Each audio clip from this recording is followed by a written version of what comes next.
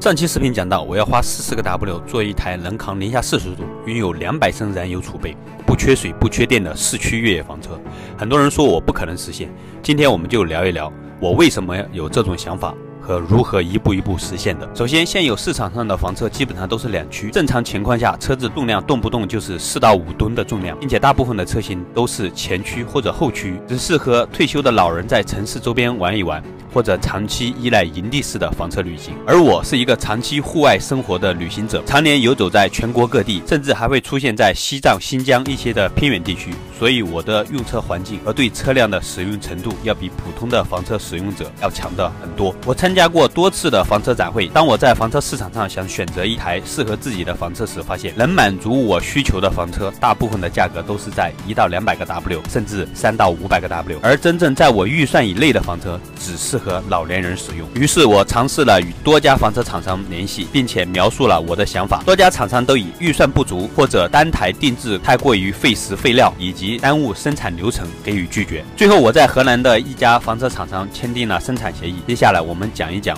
如何实现两百升的燃油储备。整车的水路全部安装在车内，给水箱进行加热。车辆底盘是分时四驱，车内做饭无油烟。柴油暖风机我安装了两台，加装水暖一体机，十二度的生活用电以及一千两百瓦的太阳能供电系统是如何实现的？车辆底盘我选择了上汽大通的 T 七零分时四驱系统，非承载式车身的底盘安装了沃恩一万两千磅的。进口绞盘，原车油箱是八十升的燃油储备。我在原车的底盘水箱位置更换了钛镁合金的一百二十升副油箱，将水箱移到车内，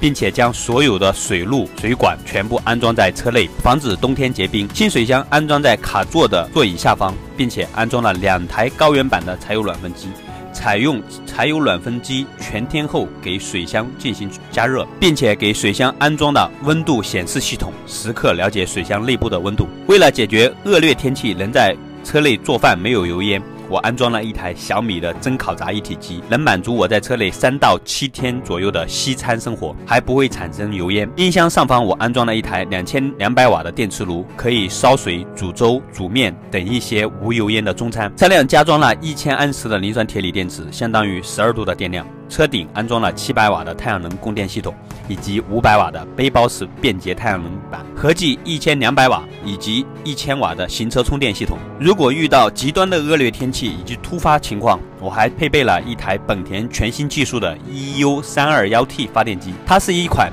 紧凑且高度便捷的发电机。具有着二点六千伏安的高频输出，是同类产品中最轻，重量仅有二十六点五公斤，并且它是一种排量为一百三十 CC 的新型发电机，可提高燃油效率。此外，采用的电控燃油喷射装置，消除了。分组门的操作，演绎了启动程序，即使在长期存放期间，也无需从化油器中取出汽油等维护工作。它还可以使用专用的应用程序，用手机就可以检查运营状态以及启动。由于采用了电喷技术。即使在高海拔地区，也不用担心它的工作能力，可以为我的户外生活用电提供无忧的生活保障。由于这台车是个性化的定制车辆，定制生产流程都会比量产车要慢很多，很多原有的量产车模块都无法使用，在生产的过程中浪费了很多，并且整车的内部和底盘部分增加的项目都需要精心设计安装位置，要保证低故障率，在低温或者高温环境使用时还能正常工作。